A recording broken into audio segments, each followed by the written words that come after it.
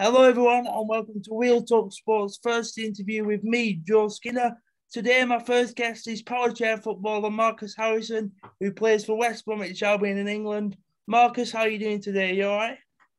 Yeah, I'm good. I just uh, finished watching the Man City Tottenham game. Are you happy with that result in particular, or was it just something you was watching for?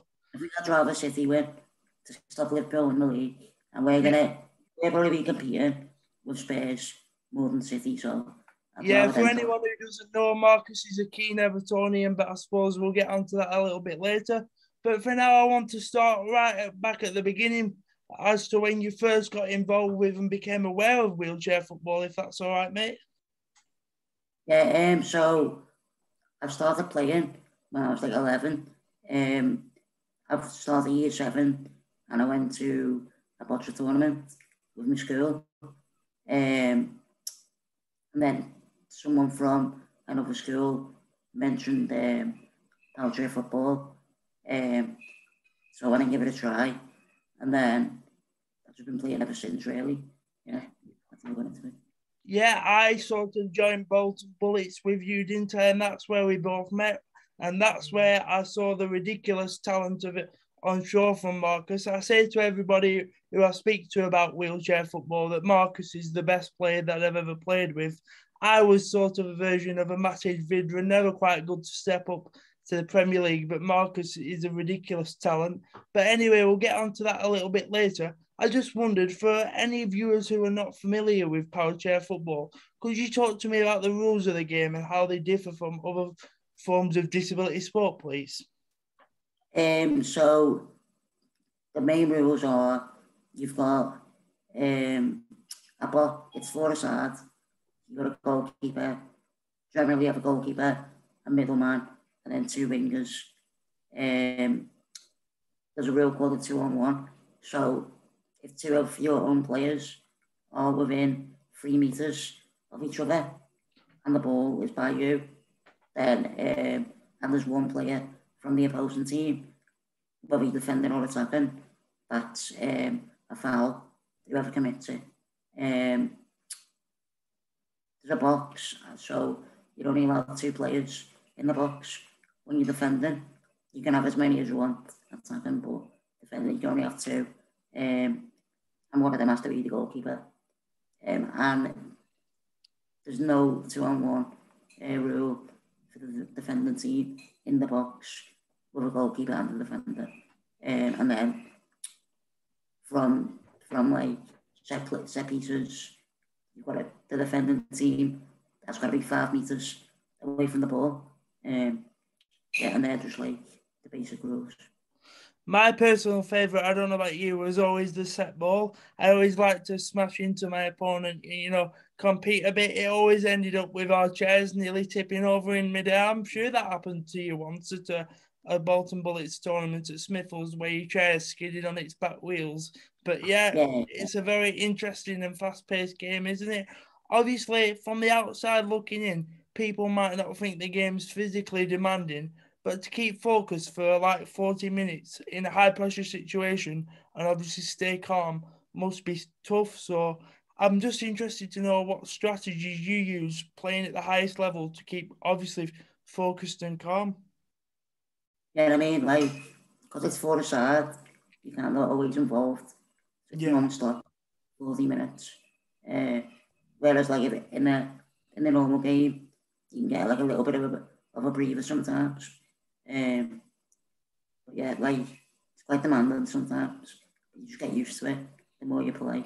Um, experience that. Yeah. Yeah, and to like be in a competitive scenario and be able to play disability sport, obviously, is so empowering for many people like ourselves because like taking part in sport can be tough for people like ourselves, as I've said how does disability sport for you and other people that you know enrich the lives of disabled people? Like, help us. Yeah, I mean, like for me, it's been like great socially. So I met like a lot of people through it. Um, I met like one of my best mates, Luke, through it, um, and loads of other great people. Uh, my friend Rickon, um, Chris, John, loads of people like that.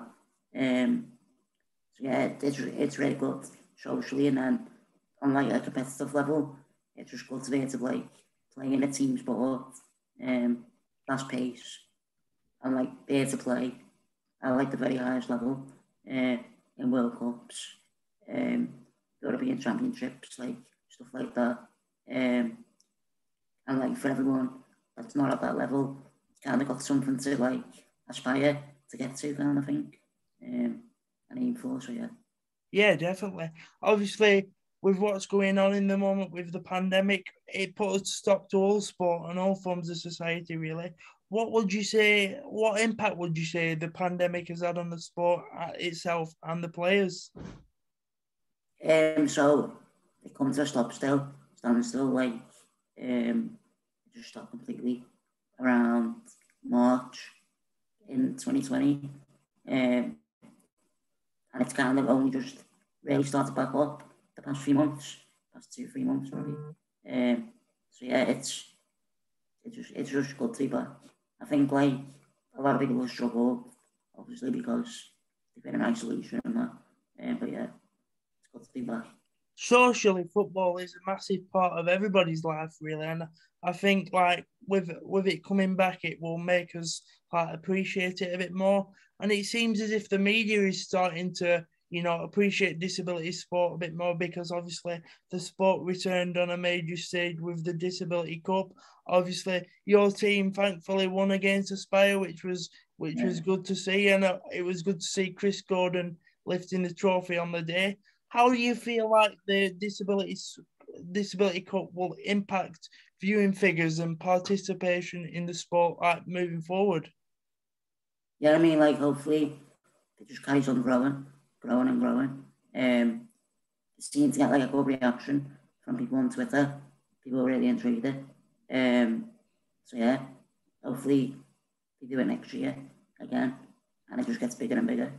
Yeah, I seen from some of the players that they was quite critical of their own performance, but I think you guys have certainly got nothing to be ashamed of and put the sport on the map. Uh, so well done to you all there. What yeah, other I mean, way? Sorry, one. I mean, like that game was not the best display of how we can both play. Um, but I mean, obviously, to people that don't don't really know much about the sport, it probably looked it was like a good spectacle. It looked yeah. good, but I think we could have we could like we we know as players like we could have played better and made it look better, um, well even better than it was. But when we watched it back, the production of it was like brilliant. Um, I didn't play very well myself. I didn't think, but um, the main thing was just the publicity of it and getting it out there to the public. Uh, and I think the production delivered on that. I suppose it made you sort of feel what it must be like to be a professional footballer in a way, like a, a day in the life kind of scenario. Like, was mm. people interviewing you after the game and things like that? And um, I never got interviewed personally, but um, Chris and John did. They went, they got interviewed quite a lot, so yeah, it was cool. What other ways do you think the media can influence participation and, you know, highlight disability sport for people in, in the future to show that we can do these things and we can get involved in sport? Because obviously with social media and, and things, it comes in with a bit of for a bit of flack, but it can be a cause for good as well. And what other ways do you think it can improve the sport? I think um, on a smaller scale, just trying to get more people involved and making more people aware of it, like more disabled people. Then, like on a bigger scale, um, more things like that, like like the BT uh, Disability Cup, um, more things, more things like that. They're great because like everyone sees what the sport's all about. Um, and is aware that actually exists. Um, and hopefully, like, more people get interested in it, the more it's on TV. Yeah, definitely. Onto your onto your strengths in your game now, like what you possess in your game. I always thought you was an excellent dribbler. The ball used to stick to your wheelchair guard like glue, and nobody could get get it off you. In my personal opinion, anyway. But what do you feel the biggest strengths of your game are if, if you do analyze those things? Because I know players and people can be our own harshest crit- critics, really. Um, yeah, like definitely dribbling is one of them. Um, like also like just uh, I don't know what the, like the word is, but like my brain kind of thing, like thinking quick, um, like good football brain, um, and technique. Definitely the three, the three best. Definitely, because having a good football brain like allows you to see what's going to happen, like a few three or four moves down the line, and especially with kicking and things like that as well, because you have to get the angle of the chair right and the approach. I'd imagine, which is something I could never really do, uh, which probably set me apart from the good players, really. But can you explain a bit about how what that entails? You know, like kicking and the dif- difficulties behind it. Um, so there's like a lot of things, but getting your chair set so you're ready to receive the ball is a big one. Um, playing in reverse, um, so you can like hit the ball because you're facing forwards. It's harder to attack your team's goal. Um, and just like tactical knowledge, um, is like a big thing. Um, but yeah, like there's there's lots of different things. Yeah, it's obviously stood you in good stead because you made your England debut in 2014, I read, which must be a real honour for you. Can you talk to me about how the WFA go about the selection process and like where you were when you first received your call up and how you felt? Yeah, yeah. So it's it's the it's actually the FA that do it, not the oh. WFA. Um, so um, I think it was 2013 maybe. Um, when I got like a selection to the camp. Um, and then I was fortunate enough to get a call up um, to the the, the, the squad for the European Championships. Um, and I remember they like really well because I played well in the camp, come home, uh, then the ball slipped. I mean, Gerrard slipped, then the ball scored, and then after the game, I got a phone call saying uh, you're going to Limerick to play for England. So yeah, memorable, memorable day. As an Evertonian, I bet you was buzzing that day seeing Gerrard slip yeah. up and then to be rounded off by getting getting a call up for England must have been a special day for you. Yeah, it was a great day. Great day. I'm glad I'm glad you're hitting the headlines and hopefully we we can continue to see success uh, with England, which I'll get onto in a moment. But I've noticed as well the majority of the players who play for England play for the likes of Northern Thunder, Aspire, and WBA, who are all obviously rivals in the National League. But you all seem to have a really good team spirit, much like the uh, men's setup in the England setup at the moment. What would you say is the secret to this? Um, I suppose like it's on the pitch, rivals, but then I feel like we're like really good friends. Um, so when we go to England, we're all together then. We're on the same team. So it's just like playing with your mates kind of thing. Yeah. Two key figures for me besides yourself in wheelchair football that I've always, you know, admired from afar are the likes of Chris Gordon and John Balding. Can you describe to me the influence they have on the England team and what similarities they maybe have with the likes of Harry Kane, for example? Yeah, like they're both like great leaders. Um, like Chris, Chris manages our team, West Brom, and John manages Aspire. Um, and they're like veterans of the sport. They've been in it for like probably like 15 years something like that, maybe longer. Um, so yeah, they, they've been around for it all, especially John.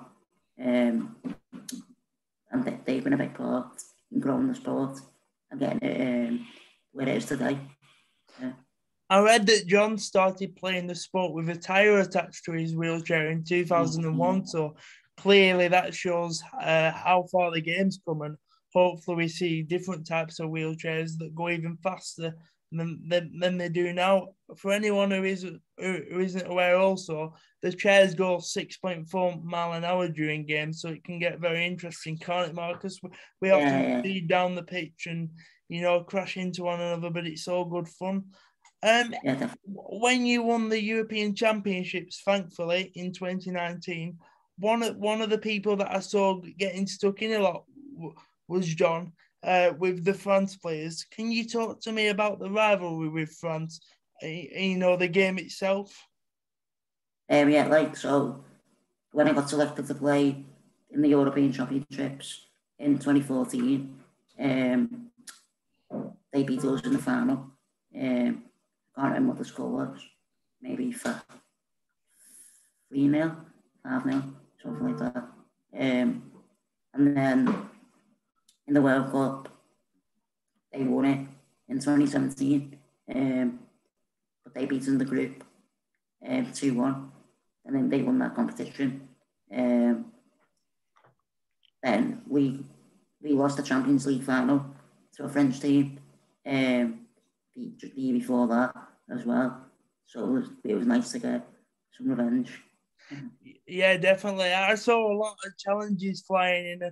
It was quite amusing me to see that there is still that competitive edge, even though it's power chair football. And you know, I think John and maybe even yourself on a couple of occasions had to be warned by the referee. So I suppose you can liken it to England Germany in able-bodied football that rivalry, yeah. considering the amount of times you, you came up against one another. Yeah, I got a yellow card.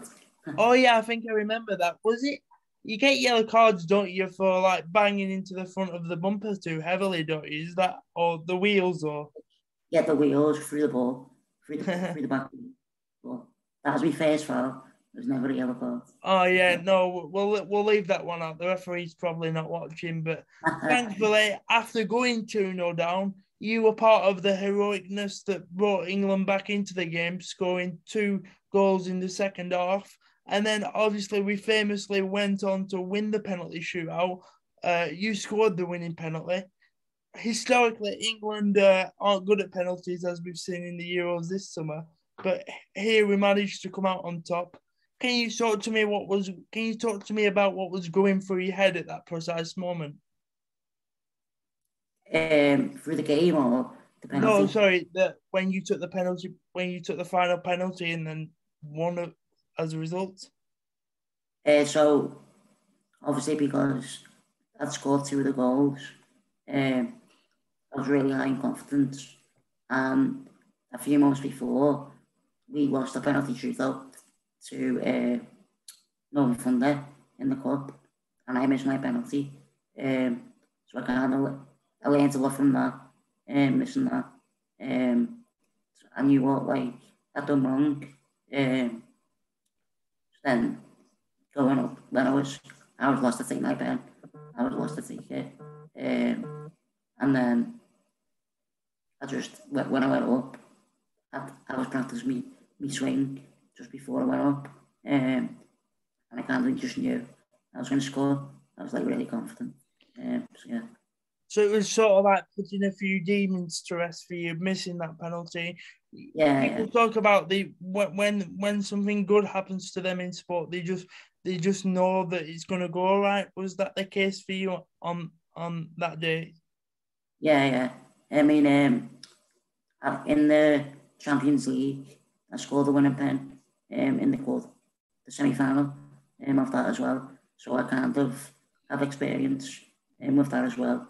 But before the game, you kind of dread, dread taking penalties, like the fourth of it, like, like I hate.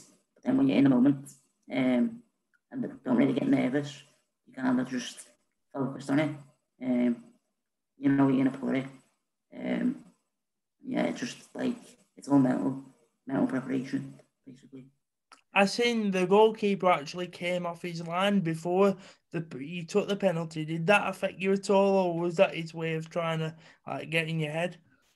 Um, well, uh, Ed took a penalty, which he saved, but that should have been retaken because the goalkeeper can't move early on penalties. So the goalkeeper's meant to move after the ball is took. Um, so when Ed took his penalty, he moved forward early and he saved it. Um, so I feinted my first. I swung but stopped and feinted it. Um, and he moved.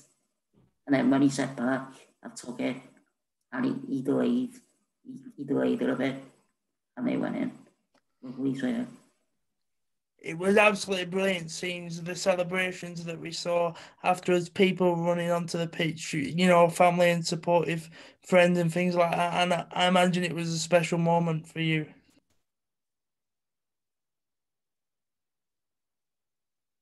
Yeah definitely. Um i can't really describe like what it felt like. It was it was a it was a it was a mad feeling. But yeah it was yeah it was crazy uh, it was clear also from watching that game as well that England have a very possession based style of play. Can you talk to me about that? Because I've read an article in The Guardian in 2013 where Chris's dad, Colin, wanted to, you know, set out an ethos for the squad. Can you talk to me about how that's worked upon in training and the types of drills you do for people who maybe don't know about the sport in that kind of intricacy? Yeah, um, so generally, um, in the past and still now, generally teams play with a goalkeeper and the goalkeeper stays back and defends the goal and the front three attack. But um, West Brom aspire a little bit and some other teams and what England were the first to do it. Um, decided to get the goalkeeper involved so we play with four players now. It's the goalkeeper as part of the attack. Um, it's like high risk, high reward, but if you do it right, um, it's not really too risky. Um, but yeah, like, so it's hard to explain, but we play back to the keeper, have two wingers, and then um, a man up top as kind of like a striker, um, or will play as a two. So at England, it's usually John or Chris. They play together. Then you have two wingers.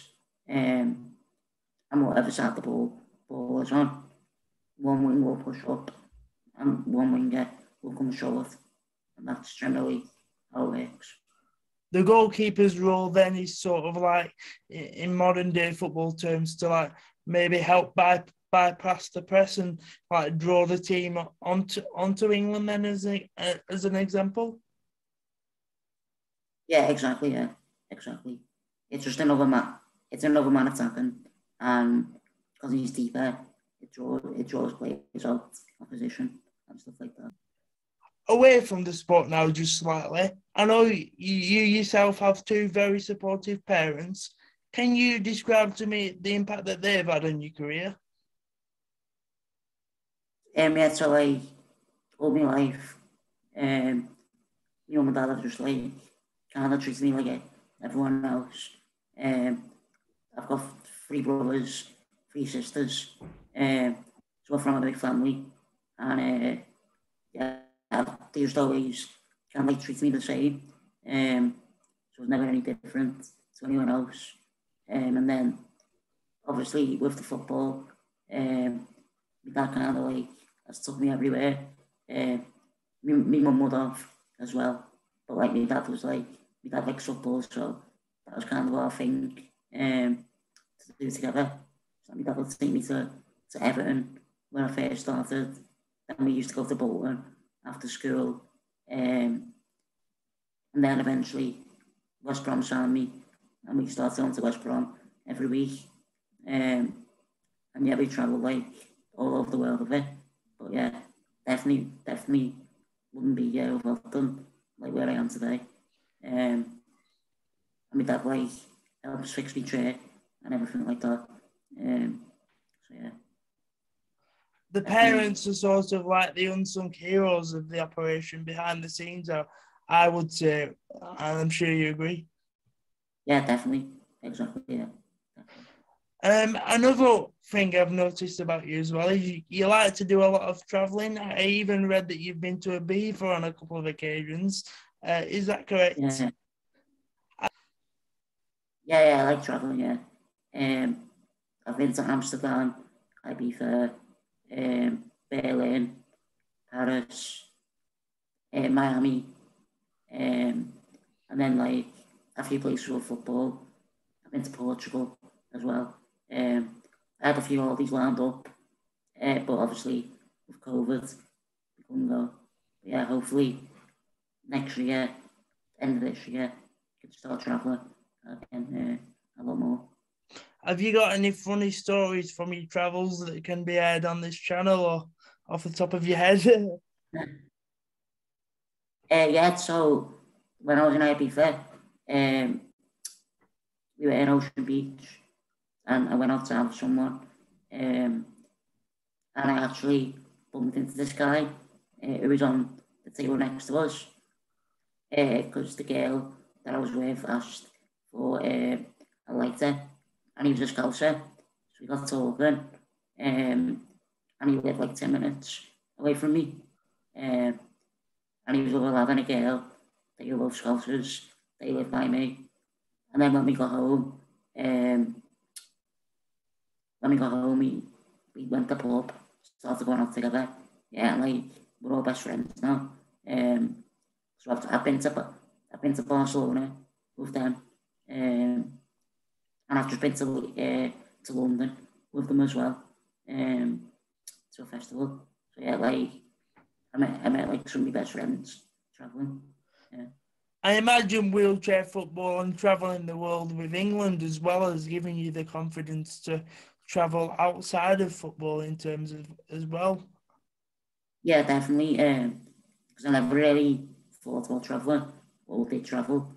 Um, then when I did it with England, I found out that like I could do it, and it wasn't as hard as like I thought it would be.